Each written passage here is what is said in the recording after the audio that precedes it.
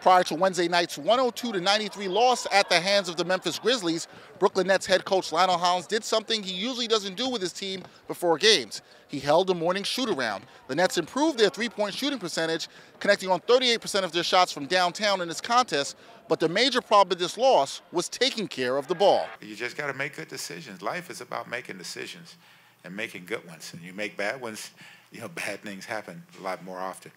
And uh, we just have to be better with the ball and be decisive, decisive when we're going to do something and play, not play in a crowd. Next up for Brooklyn is a home and home series with the Washington Wizards, which starts on Friday, where they will look to snap a seven game losing streak.